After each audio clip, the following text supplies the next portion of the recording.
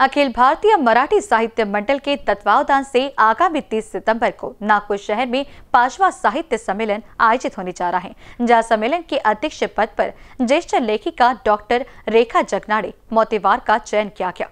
इस इसके विषय में जानकारी देने के उद्देश्य से पत्र परिषद का आयोजन किया गया था।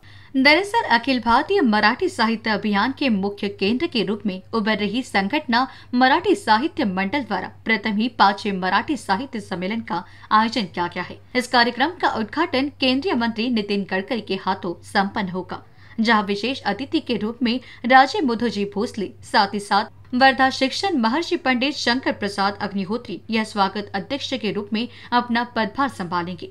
इस कार्यक्रम में विशेष रूप से ज्येष्ठ लेखक विनायक जाधव, कवियत्री ललिता गवांती कवित्री रेखा दीक्षित, ज्येष्ठ कवि सुरेश लोहार, कवि घनश्याम पांचाल, साथ ही साथ कवियत्री डॉक्टर नीता बोड़के आदि नामचीन साहित्यिक विशेष रूप से मौजूद रहेंगे। ऐसी जानकारी इस वक्त मराठी साहित्य सम्मेलन विदर्भ प्रमुख सिद्धार्थ कुलकर्णी ने दी। नमस्कार, मैं सिद्धार्थ कुलकर्णी, विदर्भ विभाग प्रदेश अध्यक्ष।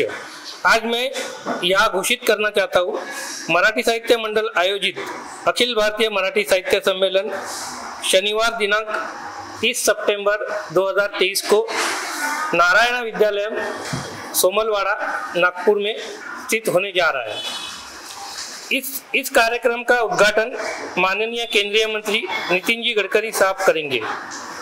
इसके सम्मेलनाध्यक्ष रहेंगे डॉक्टर रेखा जगनारे मोतेवा। स्वागत, स्वागताध्यक्ष रहेंगे माननीय पंडित शंकर प्रसाद अग्निहोत्री। मुख्य अतिथि रहेंगे श्रीमंत राजे मुदोजी महाराज भोसले, नागपुर। ज्येष्ठ कवयत्री ललिता गवांदे। विशेष अतिथि के रूप में ज्येष्ठ कवि माननीय सुरेश लोहार कराड़, माननीय डॉक्टर रविंद्र शोभने नागपुर। माननीय गिरीश कृष्णराव पांडव, नागपुर। अध्यक्ष सन्मान शिक्षण संस्था, सिनेट सदस्य, नागपुर विद्यापीठ। माननीय डॉक्टर प्रवीण नारायण महाजन, नागपुर। चेयरमैन और मैनेजिंग डायरेक्टर। सम्माननीय प्रमुख रहेंगे माननीय राम नारायण मिश्रा जी। अखिल विश्व सर युपारीन ब्राह्मण महासभा अंतरराष्ट्रीय अध्यक्ष। माननीय श्याम मूर्ति पांडेय अंतरराष्ट्रीय उद्योगपति दुबई। माननीय डॉक्टर सौ Vartika Patil Nagpur, Mrs Universe. Camera person Ajit Kunwar के साथ मनीष टेमरे की रिपोर्ट।